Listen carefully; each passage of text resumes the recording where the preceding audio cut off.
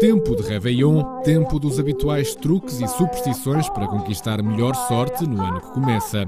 As uvas passas, o champanhe, o barulho de tachos e panelas ou os banhos corajosos para um início de ano arrepiante são usos e costumes de longa data.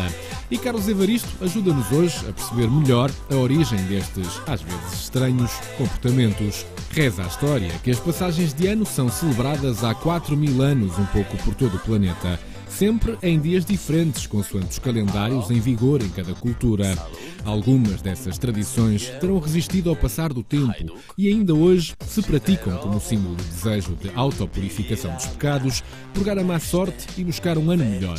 Já a música, a festa, os chapéus e as serpentinas, tudo pontuado com foguetes e fogo de artifício, são costumes de origem anglo-saxónica popularizados depois das duas grandes guerras, com uma intensidade especial em Nova York, onde Gui Lombardo foi rei da passagem de ano. A cerca de 12 horas de Portugal entrar no novo ano, o Praça da Alegria foi tentar saber o que preparam os portugueses para fazer esta meia-noite. A minha coisa é subir a cadeira, é comer as uvas passas. Como se eu estivesse, não tiver, não como. Bater taxas, não, não sou de festas. Sou de dizer que Deus nos deu há um ano, igual ao que nos deu. É mais nada, que eu não quero mais nada. Não tem grandes superstições. Não, não. Salta de uma cadeira de cima para baixo. Olha, eu nem subi. Batiam sempre uma caneca contra o muro. Na nossa casa tinha o muro, que era as traseiras da, da Ordem da Lab, e nós partíamos sempre a caneca. E uma vez ia passar um polícia, quase que levava a caneca do café. E, e dava sorte? É, são superstições antigas, não é? A coitada da minha avó já lá está há 50 anos e a gente fazia sempre aquela tradição.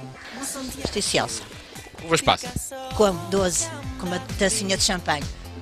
É uma superstição da, da passagem de ano. Pequenina, mas é. Qual é o significado para si? É os 12 meses do ano. Cada um representa um desejo. Desejo. Mas o que é que costuma pedir? Oh, tudo bom para os filhos, para os netos, para os amigos, para toda a gente. Vou buscar sempre os textos e bato com os textos. Já o meu pai fazia isso, que já faleceu, e em casa dos meus pais eu fui assim habituada e gosto de fazer isso.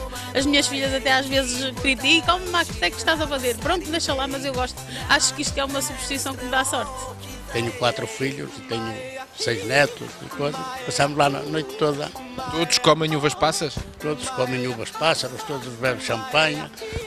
Passamos ali a noite em, em família.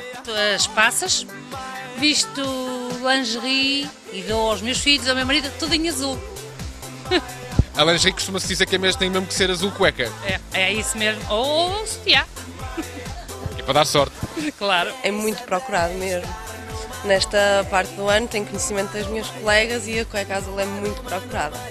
É isso e a meia liga também. Usar sempre uma coisinha mais sexy. Sempre azul ou nem tanto? Quase sempre azul. Com ou sem cuecas, com os pés bem assentos no chão ou na instabilidade de uma cadeira, siga os conselhos da RTP.